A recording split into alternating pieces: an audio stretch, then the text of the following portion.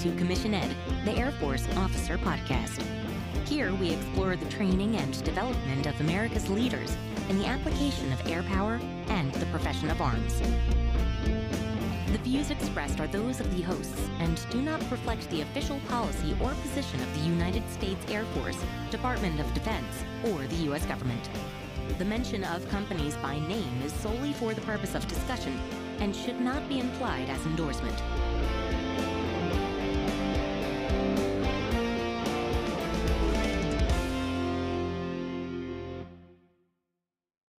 Welcome back to another episode of CommissionED, the Air Force Officer Podcast. I'm Colin Slade. And I'm Reed Gann, and we're your hosts for CommissionED.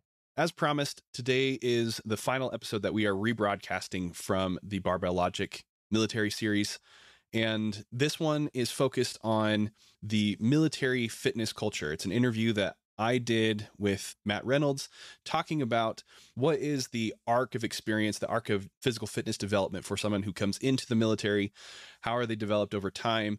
And, you know, what is the responsibility of big military, big Air Force, or whoever toward that person, but also their responsibility ensuring that they are meeting the stipulated requirements for them to stay in the military and be effective. Yeah, exactly it's almost as if, you know, the other episodes were more tactical.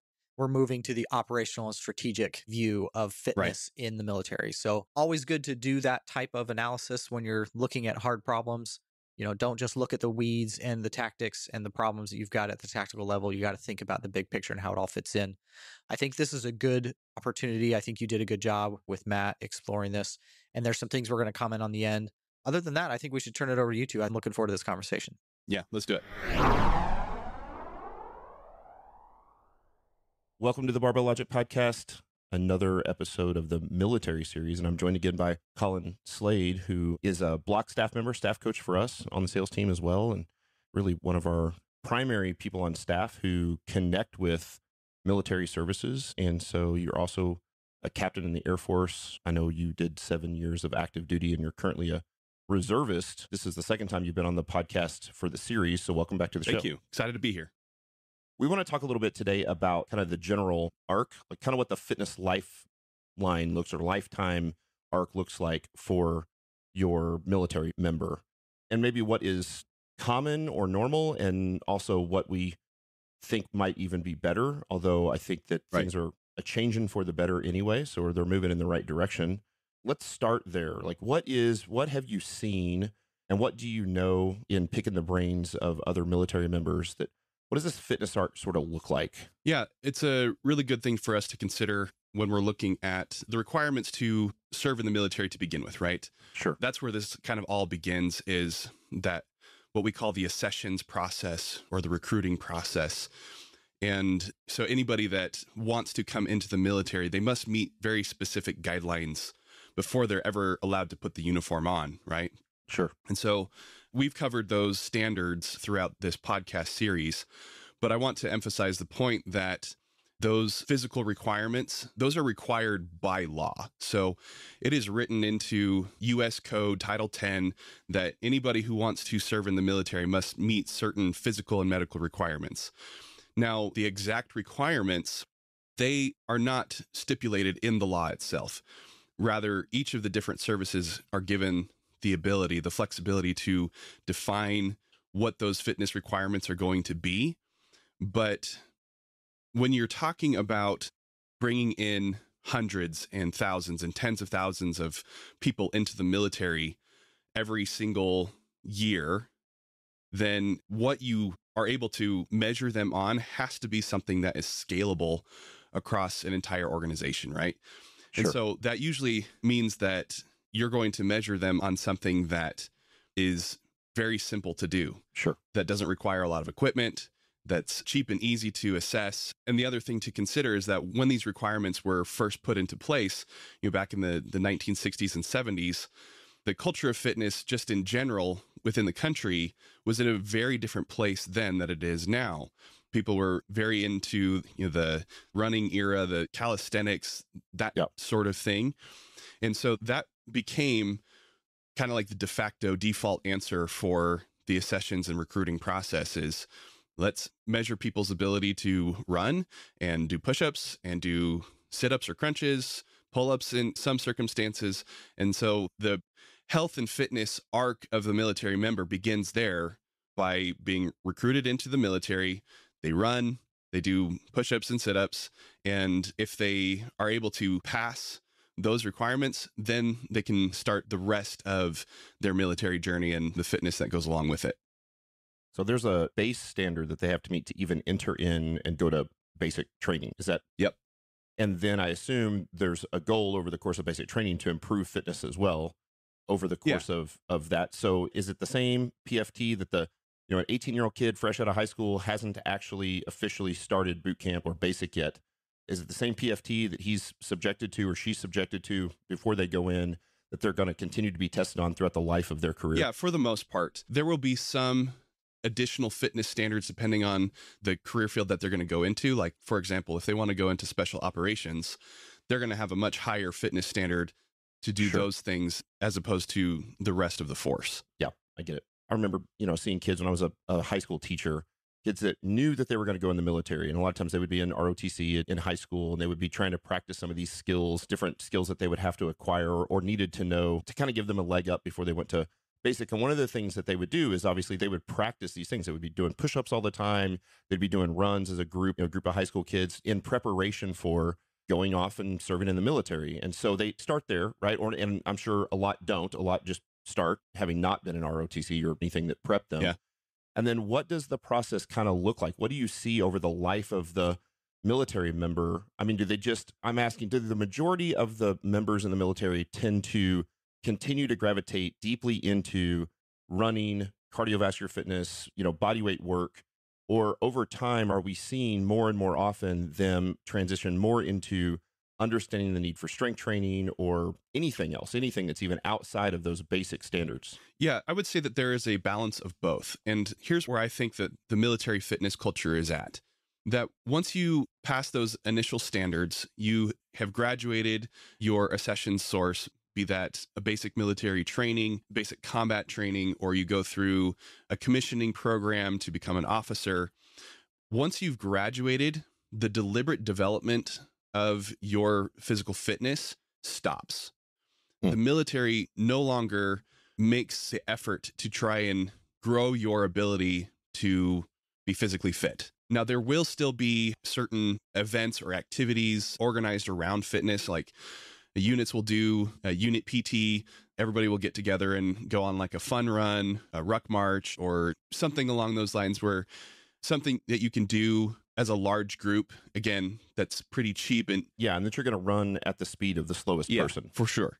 Right so you've got one guy that's that's dying and most of the other rest of the group is like we're just trotting along here. It's not that yeah, big of a deal. just wasting their time really because they could yeah. be using that time to do something else but these types of mandatory events everybody has to be there right? Sure and so, like what I was saying, is the deliberate development of the physical fitness stops. And so people will gravitate toward the thing that they are good at or the thing that they uh, enjoy or just the thing that's available to them. So if they're on a base that has a fully stocked gym with racks and bars and all of those things, people will act, will go and use them.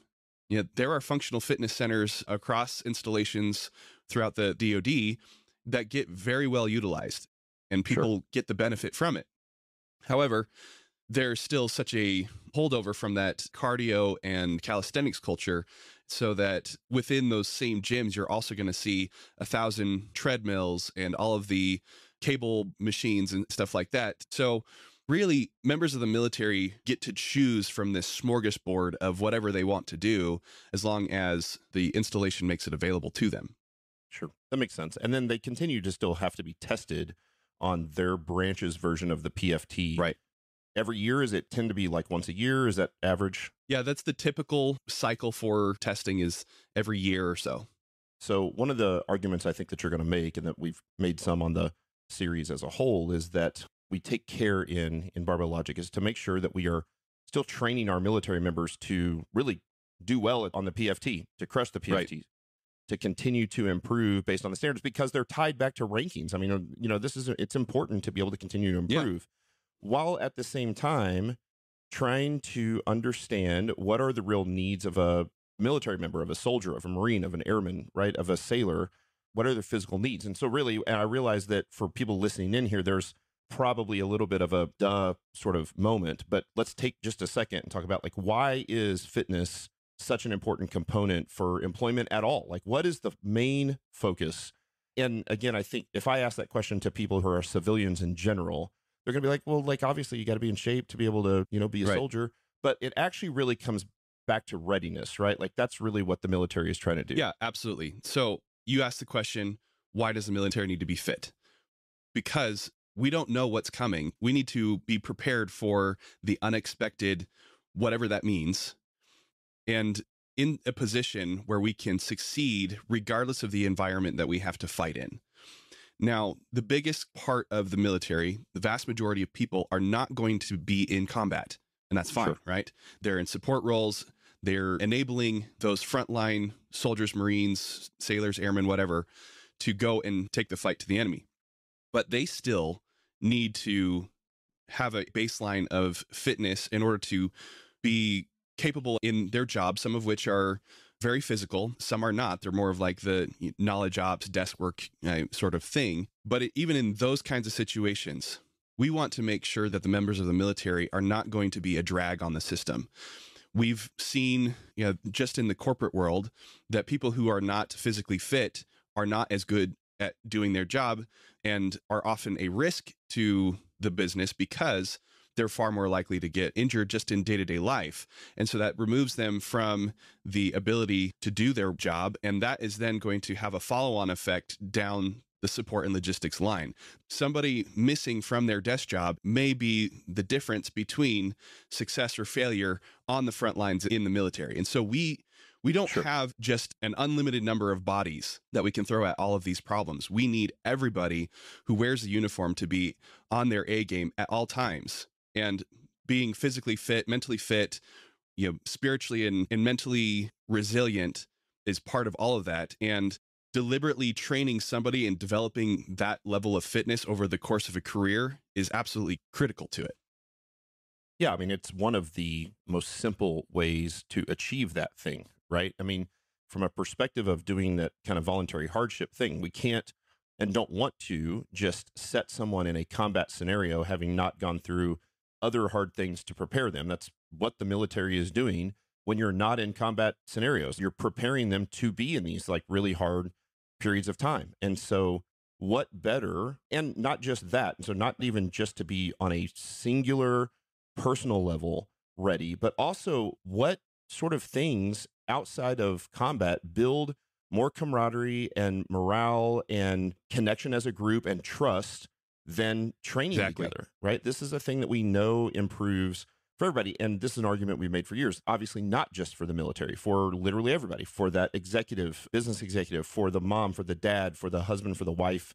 It just is a general thing. And I know you and I have talked, you know, offline lots of times before. We have many similar value systems. I know that strength training is not the single most important thing in the whole world.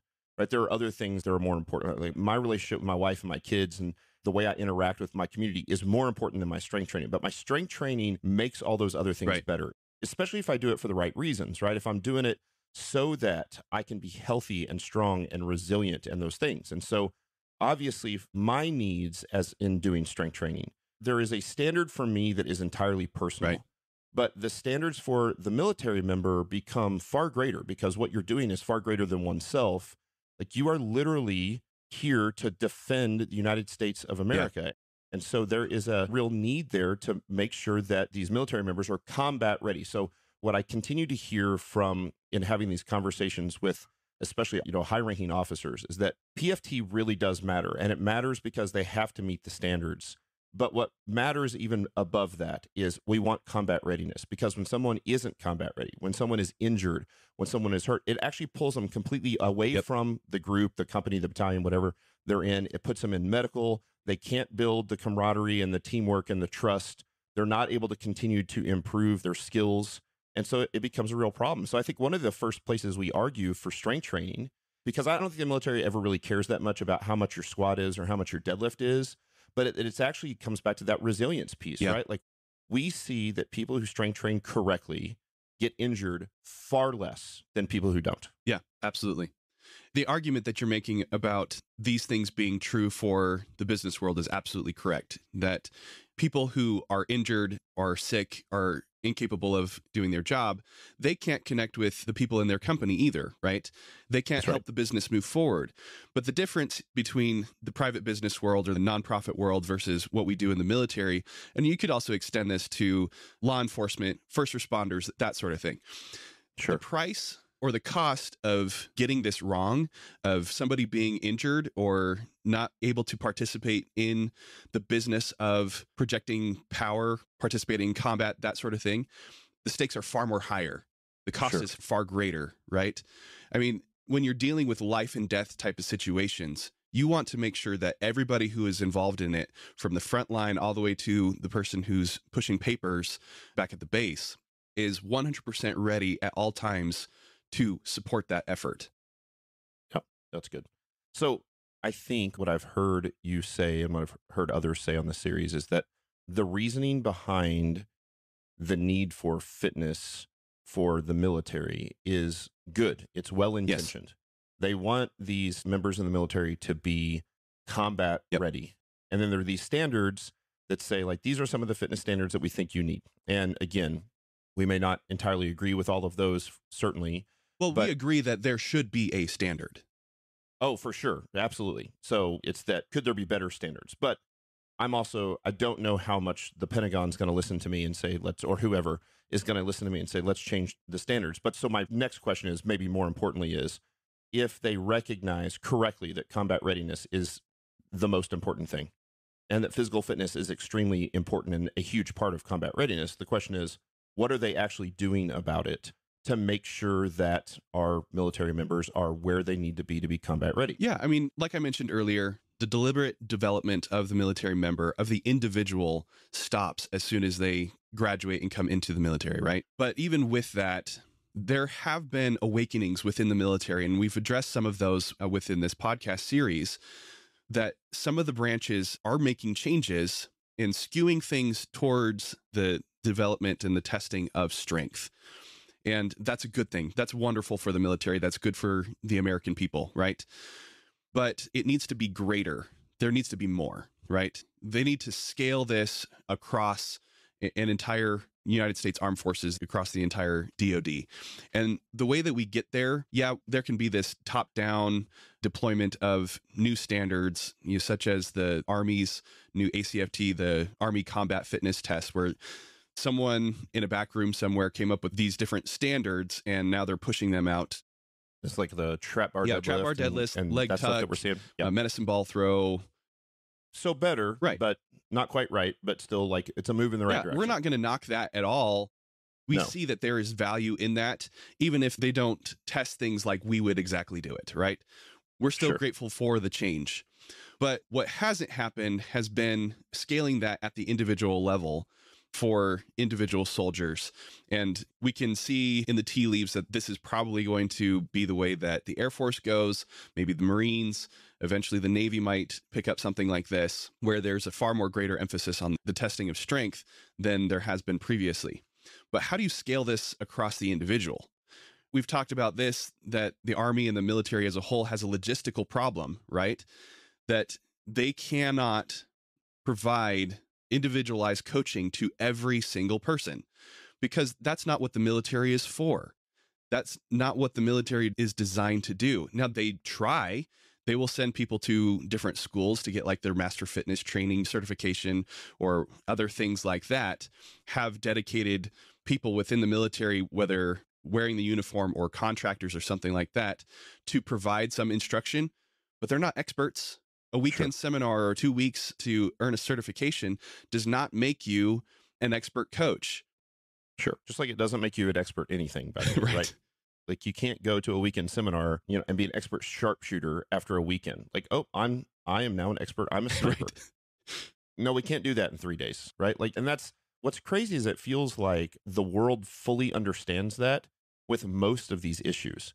Do you think it has to do with strength training specifically and even things like running, which tend to be like, it's like, how hard is it to learn how to run? Well, honestly, like there's a significant amount of form that goes into running to make sure, again, for combat readiness, that we don't get shin splints, that we're not bouncing off our heels. We understand how to push off the ball of our foot. I mean, little things like that. Do you think it's because those things are sort of looked at as a simple, you know, Cro Magnon sort of like, hey man, there's the barbell, there's some weights. I don't know, pick it up, put it on your back, squat down, do whatever, yeah. bench press.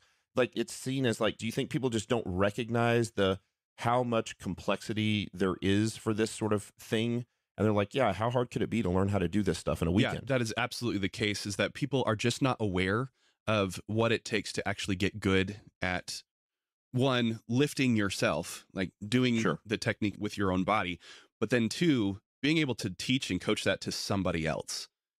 They don't yes. realize how difficult that actually is. And so, if we want to change the military fitness culture and not just get people running is still going to be a thing.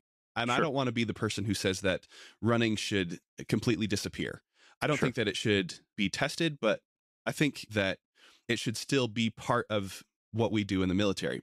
But sure. if we want to change the culture away from cardio and calisthenics and, and skew it towards the deliberate development of strength over the course of a career, then we not only need to develop the awareness and the desire for change toward that thing on the individual level, pursuing that activity, but also for coaching to get the military to recognize that there is value in providing an individualized coaching experience for every single person who wears the uniform. And that's going to take a lot of effort in order to make that happen. If we want the military to do that, to provide coaching to every single person who is currently serving, then we need to one, raise the awareness, to demonstrate the need for that desire, kindle that fire within them to pursue expert coaching for everybody and then outline those logistical constraints that we've been talking about that it's just not feasible for the military to provide internally a coach for every single person. And maybe they could figure it out. They could throw enough money at it to make that happen. But would they be good at it? Probably not, because that's sure. not what the military is for. That's not what we do. And yeah. so they should outsource that and yes, I'm obviously making a pitch here for the services that we provide at Barbell Logic, but it doesn't have to be just us. You know, there are lots of different sure. ways that this could happen. Right. Exactly. But they should outsource it like they do many other support elements of the military to expert coaches who actually know how to get somebody strong and also have maybe some of that internal knowledge of what it's like to wear the uniform hire somebody like me who is currently serving so i speak the language i understand the culture i can help members of the military to achieve that development over the course of a career, right? And not only just hire coaches who are capable of doing that, but then leveraging the technology and the capability of online systems in order to scale that across an entire organization, no matter where they are, who they are, what they're involved in. And so I see that there is a perfect fit for Barbell Logic to support members of the military in this type of endeavor to help them from the very, very beginning of getting into the military, then across an entire career, deployments and all, and then on their way out when they finally decide to take the uniform off to grow their strength and their fitness for that entire life of their time in the military. Yeah. Yeah, it's it's interesting. I want to I want to go back for a second and talk a little bit about top down versus bottom up because it's been one of the things that we're you know trying to figure out exactly the right way to do this it's awfully difficult to break into the top and come top sure. down especially without the significant amount of hard data that you can take there that you can take up the ladder and show them that this works and so one of the things i think that we would love hey listen if you're some four star general in the army or some other four star in any branch. if you want to hire us for the entire branch, we'll make it happen, right? We'll figure out the logistics. But ultimately, I think what we have found and what we are doing is that one of the things that we've been able to do already is we have a significant number of clients already who are individual service members who have hired us on their own dime. Yep. To train them. And so to be able to collect aggregate data on them, right? Not to share specific personal data with anybody, but to be able to collect aggregate data on that to show here's what we've seen from the actual standards that they're branch of service has passed down. We want to make sure that they don't just, I don't want to just meet the standards. I want to exceed yeah. and like crush them, right? Because I think it, that's one of the things that makes somebody then look and go, whoa, what's that person doing? And while at the same time focusing on strength in order to make sure that we are trying to develop, create an optimal soldier, somebody that I would think of, like that I think most of us would think of as, you know, uh, if I think of like the badass mm-hmm. soldier, mm-hmm. military member, right? So, you know, you're thinking of the badass. You're thinking of the guy who can, yes, he can go out and run three miles in under 20 minutes and 19 minutes, but also pretty jacked, not 285 jacked, 220 yeah. jacked, right? 220, six foot tall, got muscle on him, has a motor that'll go forever.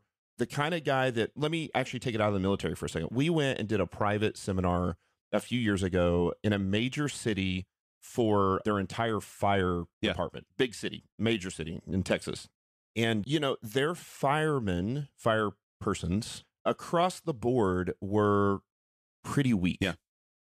Really into CrossFit. By the way, I understand why they were really into CrossFit. I also understand why CrossFit exploded in 2008, 2009. Our military is in Afghanistan and Iraq, and it was like the perfect you know let's swing ammo cans and we can we don't even have to have access to all this stuff right? We can do this thing and we can build camaraderie together and whatnot. But here's what we found.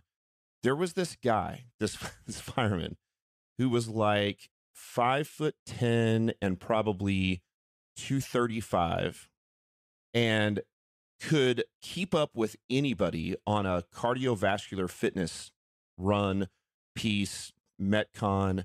And then we did the strength training at the seminar, and the guy squatted like 535 for a triple and deadlifted 635 for a triple. And I was like, okay, listen. And at one point, I just stopped the room and I said, if I'm on the fourth floor of a burning building, that's the guy that I want pulling my body yep. out. The rest of you can't do it. I weigh 285. There is no way, uh, there is not another person in this room who can get my body off of a fourth floor, but that guy can. So when they were like, well, how should we, you know, like ultimately you're getting ready to leave the seminar, like trying to set them up on like, you know, they're asking, how should we train? Where do we go from here? I'm like, do what he's doing. Listen to that guy. He's really smart and knows what he's doing. Like he has decided to set the standard so far beyond whatever the fire person standards are for that specific city. And I think that there is certainly we can start to make a splash on, and it's far easier and has a far lower barrier to entry to be able to reach out to individual service members and go, hey, here's the thing. We can coach you at Barbell Logic. And, and again, there are certainly other places who can coach you well, and there are other great expert coaches that aren't just us. So we're not trying to have a monopoly there. That's not what we're saying. But one of the things that I love about Barbell Logic is that, and what we've seen has been a positive impact for these service members, is that they can literally train anywhere they mm-hmm. want, anytime they want, right? They're moving around all the time. They're in three different cities in the United States over the course of an 18 month period. Yep. Then they get overseas. They're in Germany for a while, and then they're in the Middle East. And here's what we found now, especially, and this wasn't even the case in 2008, 2009, and certainly not before that, but now literally almost anywhere they go. We, you know, we've got guys that are in like sub Saharan Africa and they ship these shipping containers to where they are, and the shipping containers are full of gym yeah. equipment, like a CrossFit rig, and they pull the rig out and they mount it to the outside of the shipping container and the weights and the bars on the inside of the shipping container and they can literally they can squat they can deadlift they can bench press they can press and of course we can do high intensity interval yeah. training and train their cardiovascular system we can do the body weight work we can do chins and dips and push-ups and sit-ups and all the things that they should do and the other thing that's crazy with technology is almost everybody has access to a cell phone and cell phone service. Yep. I've gone in the middle of nowhere Haiti before. I mean, Haiti.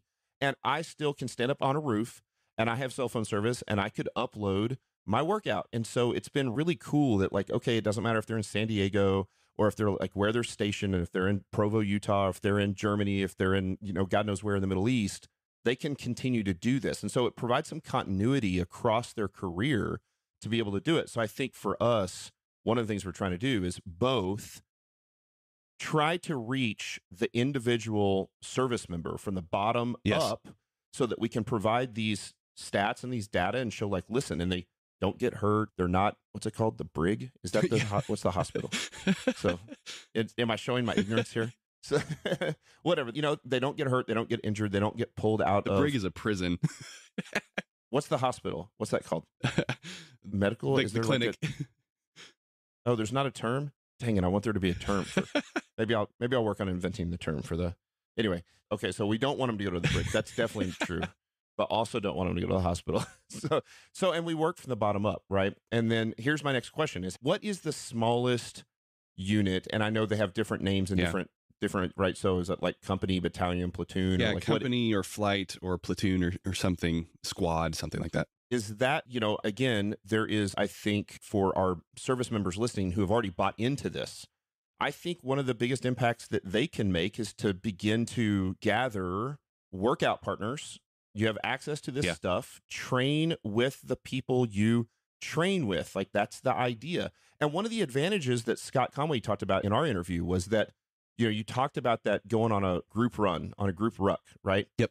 one guy is getting a good workout out of that deal the slowest one and everybody else is like we're just it's we're just building morale right Yeah. it's just it's really a morale building event not a real true physical fitness event but that same group can train together in the mm-hmm. gym and one guy could be squatting 405 and another guy could be squatting 145 and they all can train as hard as they can train together Right. Encourage each other spot each other cheer each other on. By the way have great competition. I think it's healthy competition. I think the military lends itself to that right? Yep. so one of the reasons that we see this fit so well is that most military members understand there's some level of understanding of their need for strength training. And you've got a mostly i realize there are certainly plenty of females at this point now too but you've got a bunch of dudes run around high testosterone love to compete and it gives them a great out for Yeah. that and so it builds that morale so so what do you think about like the strategy between building from bottom up versus top down maybe both maybe shooting you know arrows both directions and seeing if we can meet in the no, middle you're exactly right. That is spot on. We need both. We need members of the military to recognize the importance of this type of activity and know that it's something that they can get themselves and their unit involved in right now. I mean, there's nothing that's going to limit them from doing it. They just need to get in touch with us, send me an email, and I will gladly take them on as clients and work with the entire unit. Happy to do that. sure But that means that they're paying for it out of their own pocket. And when we talk about this being a condition of employment and a requirement for them to be effective in their day to day job as a member of the military, we don't think that they should be paying for it. We think that the military as a whole should reinforce this type of change through policy and budget, supplying the necessary wickets and financials in order to make this sort of thing happen across the entire military. And so those decisions are going to take place far above the typical military member, right? You know, Sure. within that company level, that flight level, that's not where those decisions are going to be made. That's going to happen at at least the battalion or the squadron. Far more likely, it's going to happen at a installation or a wing or a numbered air force, major command, a division or a corps. You know, we're talking like 2000 to 5000 people somewhere in that Yeah, we're talking about a command structure where there's at least a colonel, an 06 at the top, probably more likely a flag officer, general officer, admiral, or something like that. Those are the people who are going to be able to make these kinds of budgetary and policy decisions. But they're not going to do it until they see that there is a return on investment. And so, Yes. absolutely has to happen at the bottom, but it also absolutely has to happen at the higher levels of the military organization. Right. That makes sense. You know, this kind of stuff is not cheap. And so I can understand why they would want to see the data to know they don't want to take the risk and pull the trigger with taxpayers' money, not knowing if there's actually going to be a return on investment. And so I think that's why the individual soldier, the smaller units, even, you know, seven, eight, ten people within a specific unit training together and making sure that we've got good data. One of the things I love about what we're able to do is we're able to collect such good aggregate data. And again, protecting the individual all the time, not sharing individual data, Yeah. but that and the more people we have to do this, the better the aggregate data is, right? If you've got a pool of, well, here's what three people did, well, like, okay, that could be outliers. But you know, at the point that you can go, well, here's a hundred, here's what we've done with a hundred service members, and it's made a big difference. Then all of a sudden you can start to make the splashes up the ladder, I think. And we already have that hundred, that that Yes. large number of members of the military who, like you said earlier, are spending their own money on doing this. I mean, take me as an example. I've been a client with Barbell Logic since May of 2017. And so Yep. I have my entire training history in the Barbell Logic system.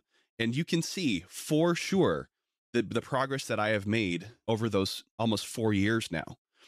I'm Yeah. far stronger, far more healthy, far more capable in my day to day responsibilities because of the time that I have spent working with the coach who, by the way, is also a member of the military or was at one point. Was And yep. so you take my individual example and you scale that across hundreds.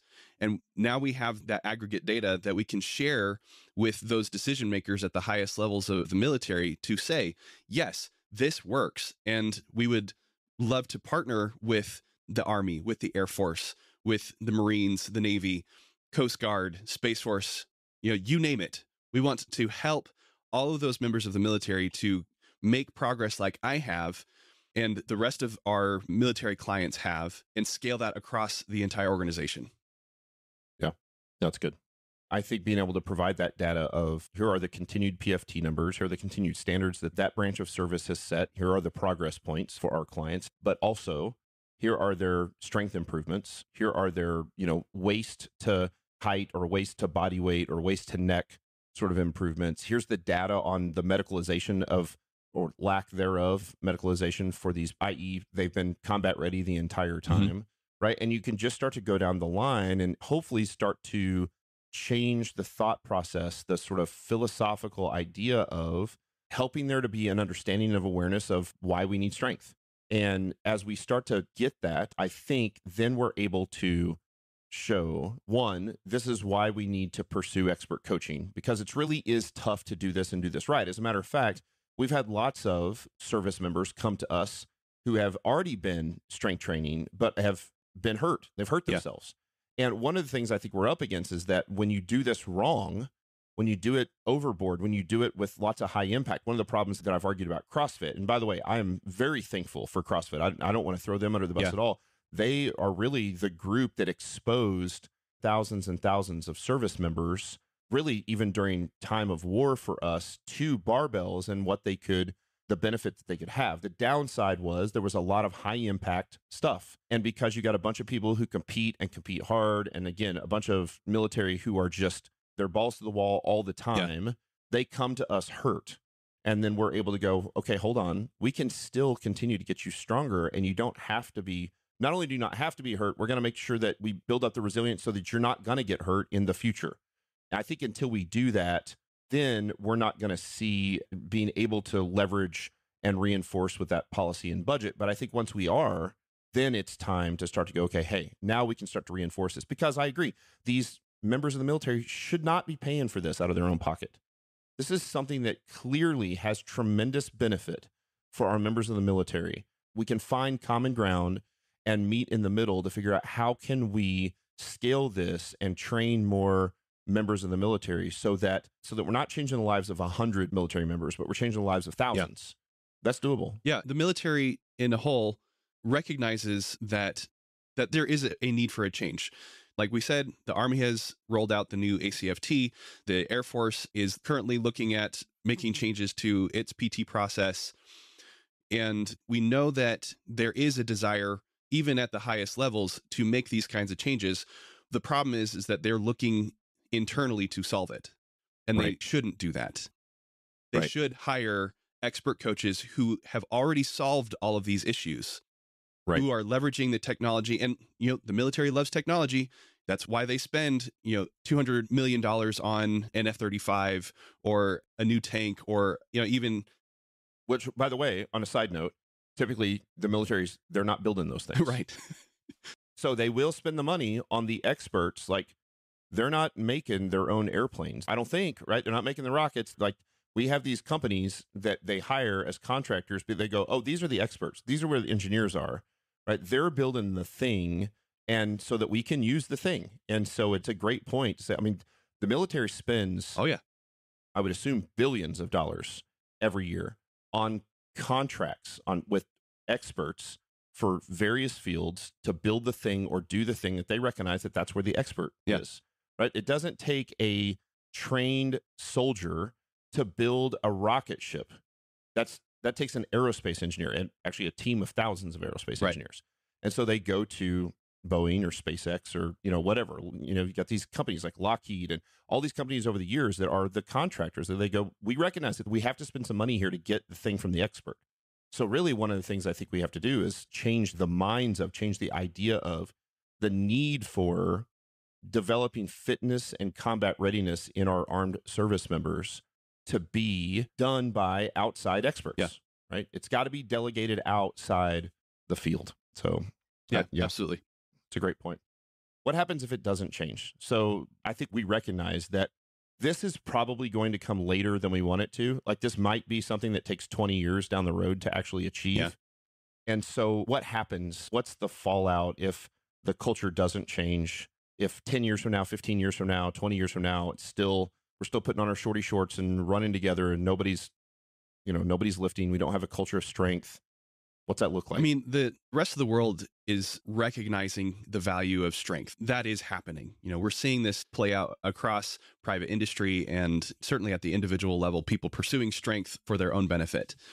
And that's not limited just to people here in the United States. It's happening across the world. And so that includes some enemies of the United States, right? And the you know some of the one of the big discussions that's going on right now is the return of great power competition and that the United States specifically is looking at near peer rivals like China and Russia and needing to find ways to maintain an advantage over them. Sure. Now, like we were just saying about technology, that's usually the way that the military likes to solve those kinds of problems is well, we just need more, better, faster technology to make sure that we keep that edge over our enemies. But the human still remains as the limiting factor, right? You know, if Sure. you put somebody into the cockpit of a jet, they can only fly so far and so long before right. the body starts to break down and they have to return to base, right? And so there's a possibility here that if we don't change the way that we approach this, that will be the thing that our enemies get right and enables the advantage over us. There's a real possibility that we could lose the next war, whatever that war ends up being, whether it's with a near peer rival or it's something similar to you know, what we've been involved with the global war on terror. Whatever the war looks like, there is a possibility we could lose it because the human is the limiting factor in the projection of power. Yeah, And so sure. if we want to prepare ourselves to not lose, just like we've been discussing this whole time, we need to address the human who is involved in whatever use of the technology, whether they're flying a jet, driving a tank, firing a rifle, or back at the base pushing papers. Everybody needs to be prepared and ready to take the fight to the enemy. Yeah, you know, there's this mindset I think that occurs where, and it doesn't just apply to military, but I really believe that it's our job to be the best we can possibly be at the thing we're called to Yeah. do. Right. So, like, if you're a trash man, you better be the best damn trash man on the planet. Like, there's no shame in that. I'm not using that as a shameful position. Right. Like, what's shameful is cashing it in, is having the job and just, you know, it's like office space. Like, I, I you know, I'd, I'd say in any given eight hour day, I do about 15 minutes of work. That's the problem, right?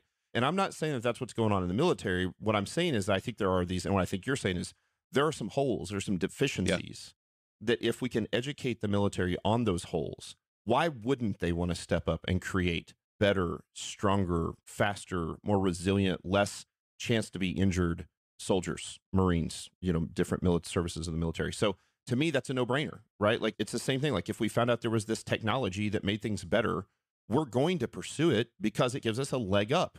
So my wonder is is in the extreme explosion of the technological advancement we've made, especially over the past two decades or Yeah. so, if some of the physical advancement has sort of been left to the wayside to go like, mm, it's not that important anymore. And Yeah. yet, everybody I know that's gone to Afghanistan or Iraq or needs to land from helicopters to go kill Osama bin Laden, it's still humans kicking in doors. There's still a lot of that going Yeah. on. And so, you know, and certainly, and I don't know exactly what it looks like for the Air Force or for the Navy, but I know for the Marines and the Army, everyone is an infantryman. Like everyone is Yeah. trained to be a rifleman, to be in the like. I don't know if it's the same in the others, but like that's that's part of. And like you said, there's like obviously a huge percentage of the soldiers and Marines as they go through their career are not infantrymen, yet they're all trained that Right. way because they have to be combat ready when necessary. I mean, there's an argument to be made that the physical fitness standards that we've been talking about are not necessary for the future as they have been in the past. I mean, you take an airman, a computer terminal connected through the internet to the enemy, they can shut down entire electrical grids and, you know, turn off nuclear test sites or whatever. You can make the argument that one person with a, a computer terminal is far more damaging to the enemy than a marine with a rifle, right?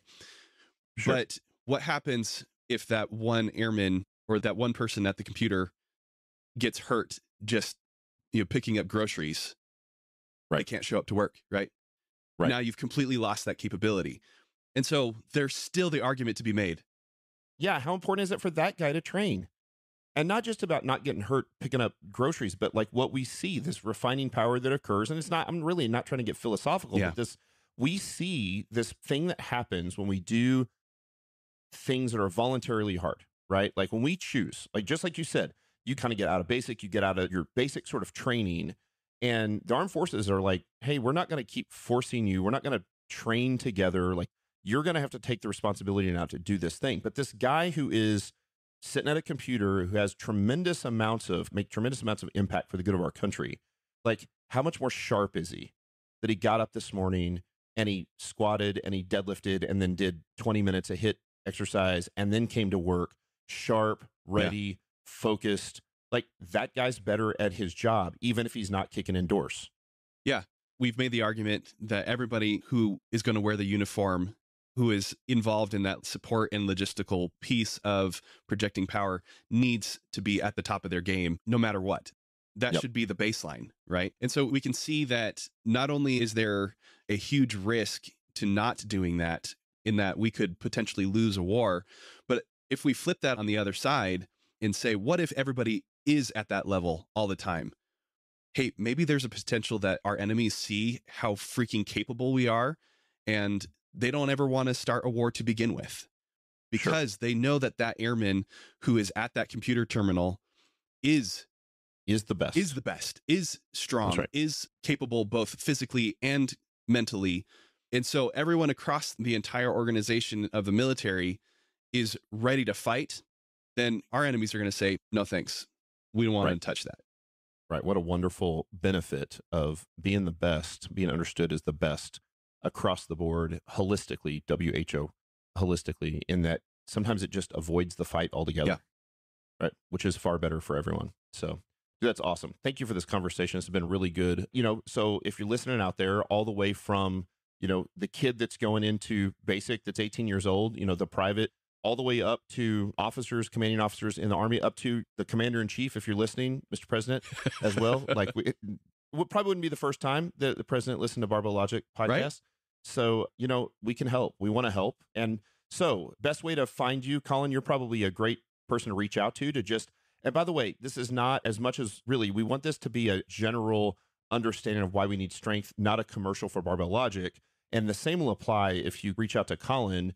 It's not a sales pitch. Colin loves to just talk to people about the need for this thing. And so, what's the best way to get a hold of you? Yeah.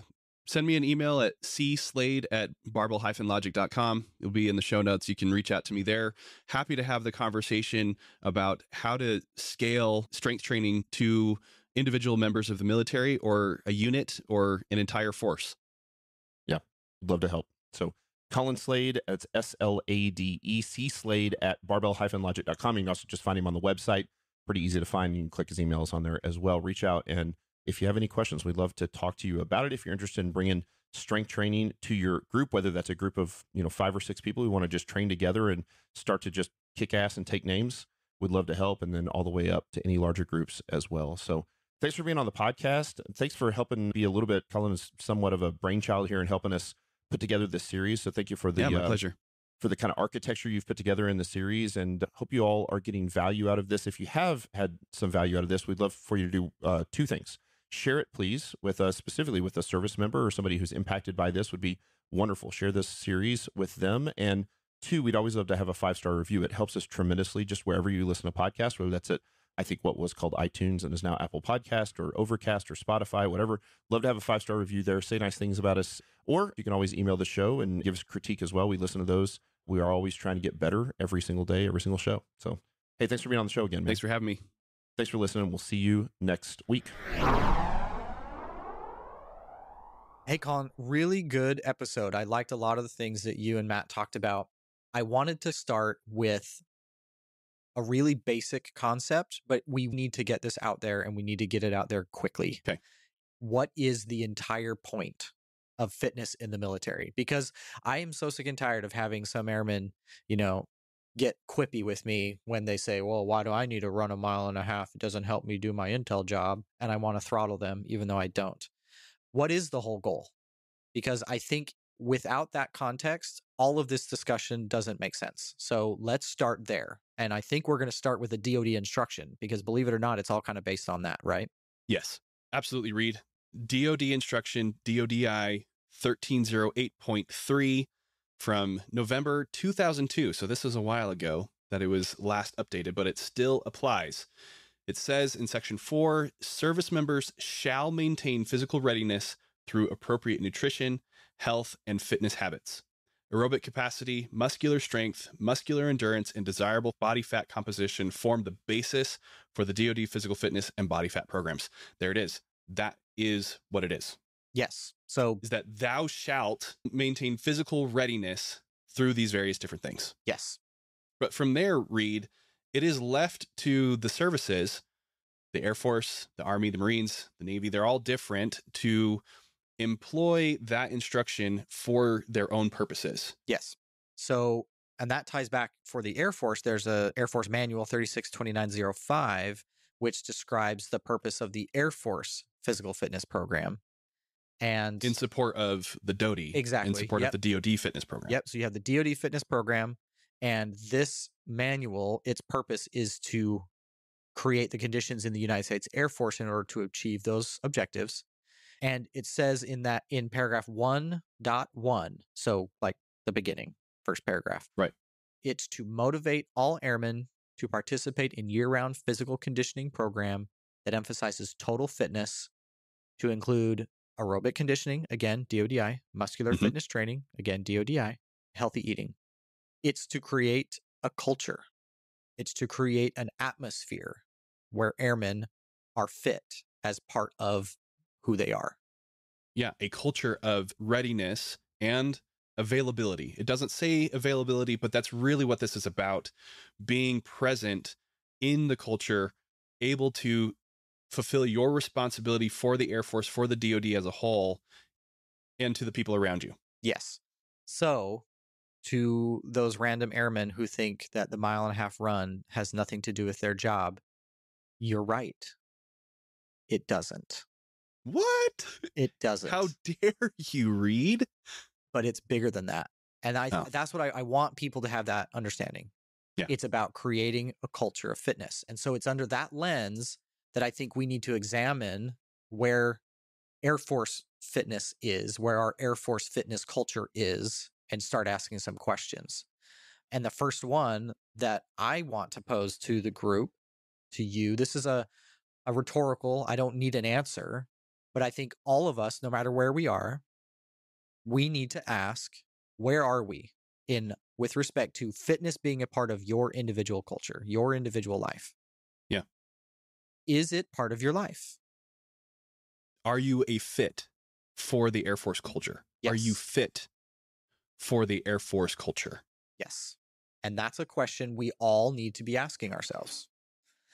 And because that's the point, right? That's the point of the fitness program is to create a culture of fitness. So mm-hmm. where are you? Have you become a new being? You know, Colin, we see this question all the time. And again, we love hearing from our audience members. Keep those questions coming. You can reach us at our podcast email account or, you know, on social media. But we see this all the time. What do I need to do to get ready for ROTC, for OTS, for basic training? We see it on forums. And what is one of the first responses every time, Colin? Get fit. Get fit, right? Because unfortunately, in our country, so many of us have not had a culture of fitness. The numbers are clear. Right. And so I want everyone to ask themselves that question Are you a good fit for the military culture because you have a culture of fitness in your life? Right. You become a fit by being fit. Yes. Yes, that's not circular at all. I love it. No, it's not. I know, I know. It's just the words. English English is a fantastic language, but you know what we're getting at, and that's the important thing. And so I really wanted to get that idea out there because it's with that lens, culture of fitness, that we really need to start asking ourselves, well, what is it and what should it be? And Reed, I want to take it one step further and put it into the sphere of officership. We did a whole series on what an officer should be. And in there, we emphasize the importance of trust. And I actually think that fitness is part of that. That if you are a fit person, you become more trustworthy because you are now a better fit for the culture. And so I want to have a quick discussion here about the relationship between physical fitness and your character, fitness and competence, fitness and connection, Love it. because I think that there is something worth exploring there that helps us better understand how you become fit for the culture. How does fitness show that you are a person of character? For me, this is pretty straightforward. It's an individual responsibility that I have raised my right hand to the square and said, I'm going to, you know, be a part of this organization. And part of the cost of entry is maintaining my physical fitness. Yeah. And if I can do that, I am demonstrating my ability to honor the things that I have said I would do, which to me is like wearing your character out front all the time. Yeah. I like to think about it, and I use this all the time as a strength coach for Barbell Logic. My clients, they like to thank me for helping them to become stronger. And I will reply back, I didn't lift the weight. You did. I presented you the opportunity, but it was you who made the effort to show up and do the hard work of moving the weight. Same thing could be true for running or any other physical activity. Nobody else can do it for you you as the individual demonstrate your character by doing the hard work, Yeah. doing the hard thing. So I think that's one of the ways that fitness and character relate there. Yeah. No, I like that. That's really good. And I think that carries over into competence too. Because you are the one who is doing the work, you become more competent. It reminds me of Ralph Waldo Emerson. He said, That which we persist in doing becomes easier, not because the nature of the task has changed, but our ability to do has increased. That's competence. The more you practice doing something hard, whether it's physical fitness or something else, your ability to perform becomes better. And I think, and this is something Barbell Logic explores in depth, and I recommend anybody who is wondering about the connection between getting good at something and lifting heavy things. Your ability to do hard things proves to yourself your ability to do hard things and improves your ability to enter the quote pain cave Yeah. when the going gets tough because you've shown yourself I can do hard things. and not just go into the pain cave, but be resilient enough to come back out of it and be able to still perform. Exactly. And here's the thing about the pain cave it cuts you off from your ability to support others. And that's where we get now into connection. That the better you become at withstanding or doing hard things, the more resilient you become, the more available you are to others, the better you are able to connect with others and help them come out of the pain cave and perform. Yeah. Another way of looking at the connection before we move on from that point is physical fitness, physical training, exercise, team sports. Those are all opportunities to connect. Yeah. We've explored that already, how sometimes unit PT, the most important function that results from that is connection. Yeah. So why not do it with something that is going to improve your character and your competence at the same time? Yeah. And one more thing to consider about that is when bodies move together, there is a connection bond there. There's a biological and psychological and social connection made between these people who exert themselves in physical movement that strengthens the connection between them. Whereas people, you know, running on treadmills at opposite ends of the room have no connection, but people who do hard things together, the same activity that is difficult together, they form a bond that wouldn't be there otherwise. No, it's really good. And I think we're going to talk a little bit more about this doing this together when we get into uh, some of our bright ideas as we go to solve all the world's problems here in a minute. That's right. so we've really done a good job of clarifying why this matters, the real intent and purpose. And we want to bring it to the present day. So. Chief Bass, recent tweet said, there shall not be any more delays in PFAs. We're starting July 1st. Make sure you're fit. End of discussion. Are you ready? Yes. That's what we're asking. Are you ready? yes. So for me, it's going to almost be three full years of no PFA, which is nuts to me. I still yeah. can't believe that that's happened, but I digress. I just wanted to throw this out there. The Air Force knows this is important, and their Air Force is also thinking about how to change it. Right. So we've seen reports in you know official sources that the components of the PFA are being examined. I recently got an all call through my unit that my fitness assessment cell, my FAC here, with the Air Force at my current duty station is being used as one of the testing locations where mm-hmm. they're assessing what will be the new components of the PFA. So, just like the officer performance report we know is changing and various different units are testing it out, doing a beta run on it, and that sort of thing, they're doing that with the physical fitness test. Yes. Is that right? Yep. And I wasn't able to go and be one of the guinea pigs. Timing didn't work out for me. Man, you could have gotten us the inside I'm still, scoop. I'm tempted. I'm trying, but I am moving. So there's a little bit of that going on, but it's something I'm looking at. Bottom line Ohio can wait, Reed. Why don't you tell Mrs. Gann that? And let's see how well that works for you. anyway, the point is this matters. Yeah. This matters. PFA matters. How we measure fitness matters. The culture we create. And I think for too long, I'm definitely guilty of this. You know, I've shaken my fist at the sky and been grumpy about the PFA. And I think now, Colin, we want to move to a little bit of what should it be? Yeah. Air Force is assessing what it should look like.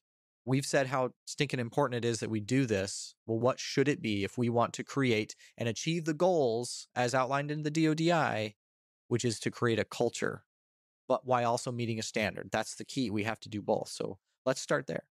Yeah. Like we've said multiple times throughout this entire podcast, it's not enough to stand back, admire the big problem, throw a couple spears at it, but then offer no solutions. So, my first thought, Reed, I'm just going to drop the bombshell here. I think that the physical fitness assessment as we know it should go away. It's gone. But yes, we are going to replace it. Yes. But it's not going to look the same. So, let's bring out what are some of the components that we think should be part of this physical fitness assessment that is going to help us to create a culture of airmen who are fit and are a fit for the culture. Okay. So, Reed, you and I, we think that there should be two components to this fitness assessment.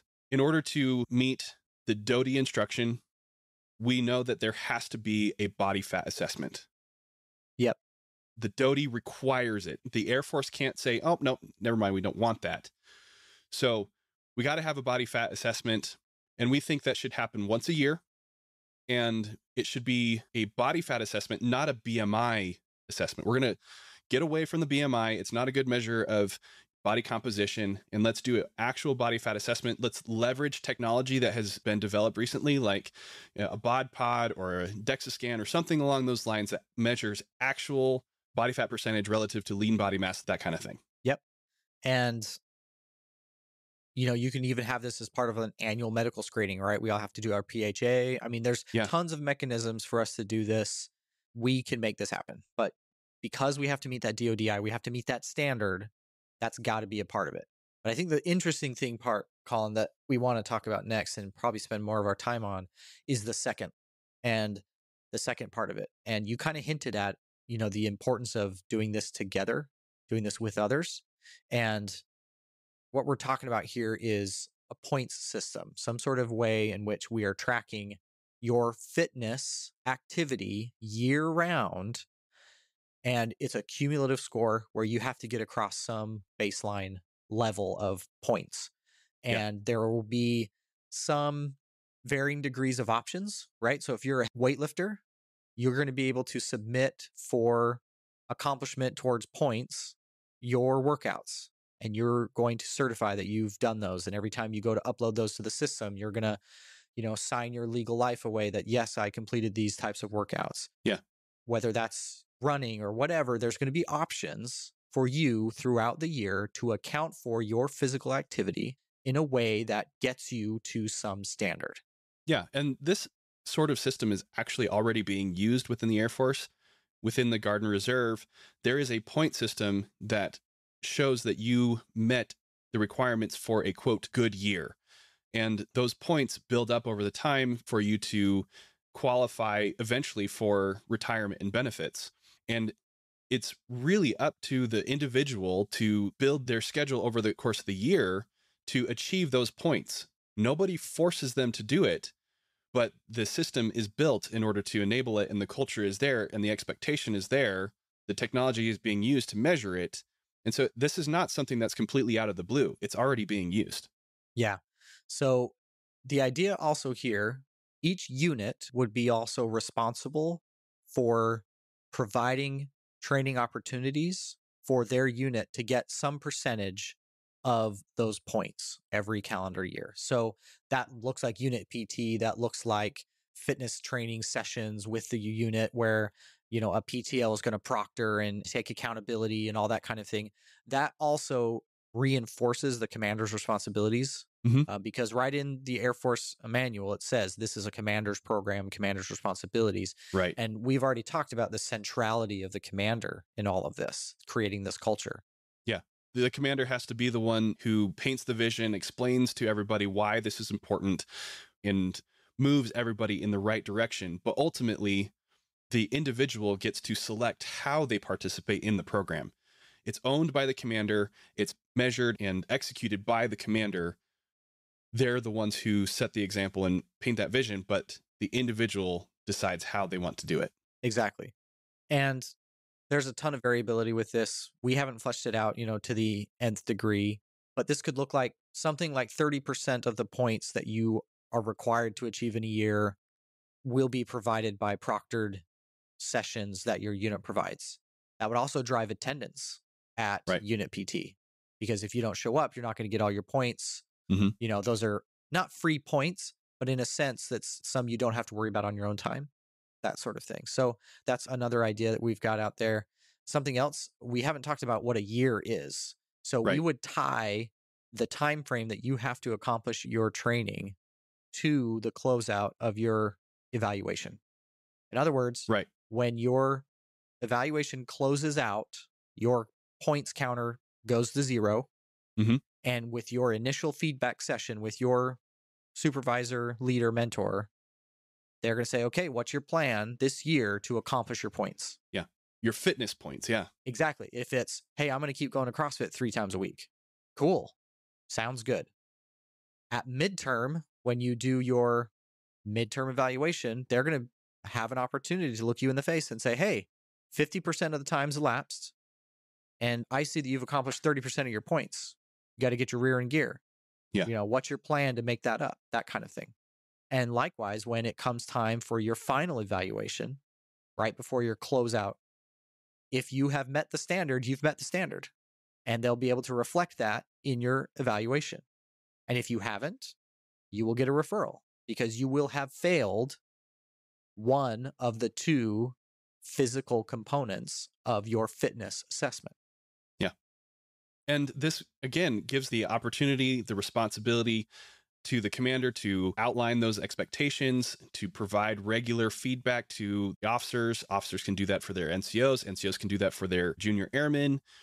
And then the individual airmen, junior airmen, NCO, officer, wherever they fall, can take individual responsibility and participate in it however they want. But it's their plan that is then held accountable by the command structure. It makes great sense to me. I think something else that's really important with this is it's year round. Yes. There's a focus year round. Yeah. How often do we hear about people saying, oh, my PT test is coming up in two weeks. I better start running? all the time. Guilty as charged. I'll be honest, because I don't do things, I don't train for my physical fitness assessment. Right. Because it's part of your culture. Yes, I train other things, but then when it's February, I'm a May tester traditionally. I'm like, oh, I guess I better start specifically training for the PFA. Yeah. And this will lead to a year round focus, a year round conversation. And I think that's, again, the objective is creating a culture of fitness and meet a physical fitness standard as outlined by the DODI and ensuring your availability and capability of the mission. Colin, there's other things we haven't talked about, but you know, just imagine if you know, think about like the Apple Watch and its ac- activity tracker. You know, that's kind Yeah. of the points that we're talking about. Imagine if it says, "Hey, if I get twenty thousand steps on my Fitbit every day, I'll get the numbers." Yeah. and the you data can, is there. yeah, and you can submit your data. You know, you take your Garmin on a run and you submit your GPS data. You know, and just say, "Hey, look, this is me accomplishing my points." You get your points, right? Sorry, Reed. I just have this picture in my mind of CAC enabled Apple Watches Hey, so that we could submit our data. I'm trying to be hopeful here, Colin. Come on, man. How many times have we already ragged on Air Force IT? But let's lean into it. Let's leverage technology. No, we should. Absolutely. Let's do this. We should absolutely do this. If the Air Force wants to buy me an Apple Watch, I'm listening. Give me a call. You know where to reach me. They're going to send you a Fitbit. Okay, whatever. That you know, I'm listening. But the point no, is, you're making a great point. yeah, if that's what it takes to create a culture of fitness and it increases the availability of airmen, that's the mission. And that's what we should do. This is our rough proposal. We are interested in your spears, your thoughts. Yes, you're going to have some airmen, you know, hook their Air Force provided Fitbit to their cat and chase them around the house and say, look at all these steps I got. And when we find out that that happens, we're going to kick them out just as much as we would if they were lying about a training report or the availability of an aircraft, right? Yeah. Integrity first, no questions.